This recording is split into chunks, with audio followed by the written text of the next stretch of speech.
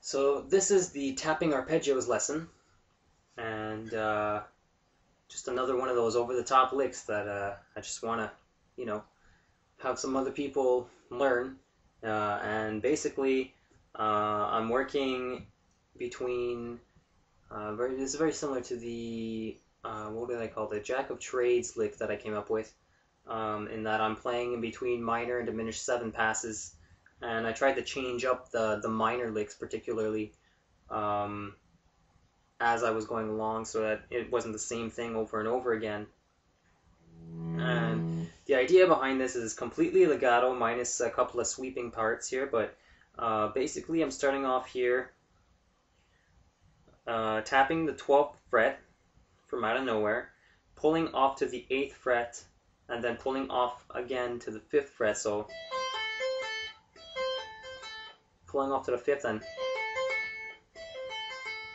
so and then here's a little bit of a string skipping part where I go down to the G string and hammer on with my pinky to the ninth fret and then tap the 14th fret and pull that off and then pulling off to the 5th fret over here on the G string. And then hammering on the seventh fret, the natural A of the D string. And here we switch to a diminished seventh pass. And here I'm, I'm starting on the B string, 12th fret, pulling off to the ninth fret, and then pulling off to the 6th fret. Like that. And then here hammering on the 7th fret of the G string like that. And then tapping the 10th fret. And then here I'm hammering on with my pinky the 9th fret, tapping the 12th fret, pulling off.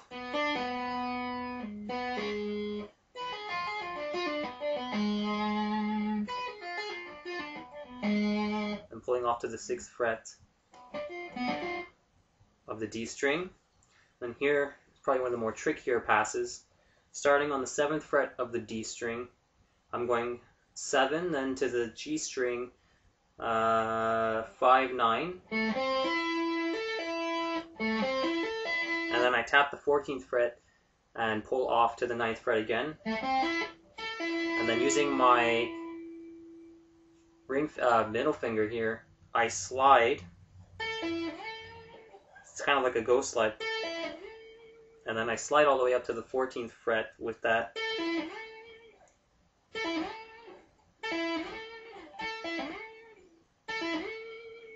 And then here I hold the 14th fret, tap the 17th fret of the G string, and pull off. Then hammer on to the 13th fret with my index finger here, and then tap the 17th fret of the B string, pull off to the 13th fret, and then hammer on to the 14th fret again, and then here's another diminished 7th pass. Starting at the 13th fret, I'm tapping the 13th fret, pulling off to the 10th fret, and then pulling off to the 7th. Then hammering on a B string, the 9th fret, tapping the 12th fret and pulling off, and then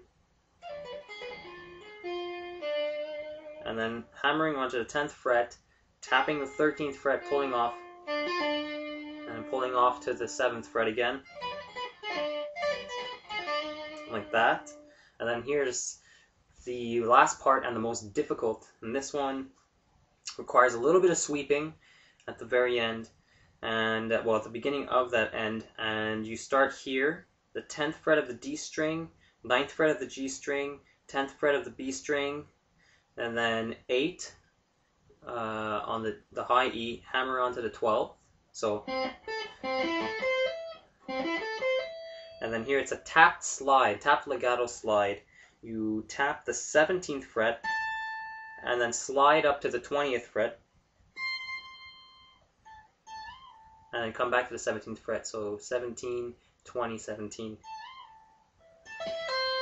And then pull off to the 12th fret pull off to the 8th fret, 12th fret, hammer on, eighth fret, pull off, and then hammer on to the uh, to the tenth fret of the B string, which ends on an A. And so basically, slowly the lick would basically sound like this.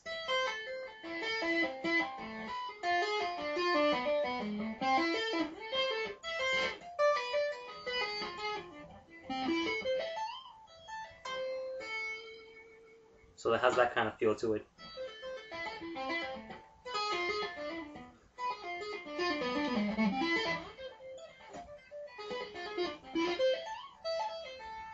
It's kind of, without all the gain, it's a little bit more difficult, but...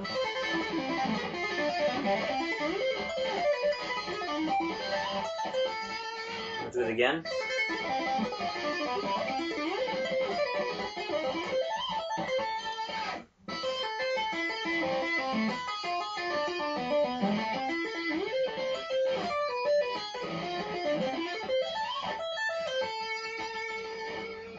Trouble with cleanliness, but you get the gist of it.